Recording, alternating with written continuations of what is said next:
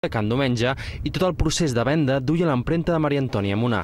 Va negar, a més, haver cobrat comissions i tenir comptes a l'estranger per desviar dobles públics.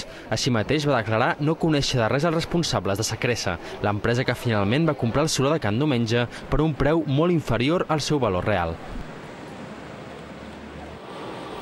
Precisament Can Domenge és un dels casos que tenia damunt la taula l'exresponsable de l'Agència Tributària de les Balears. Raül Burillo, que ha estat traslladat a Saragossa, va ser el responsable de denunciar nombrosos casos de corrupció.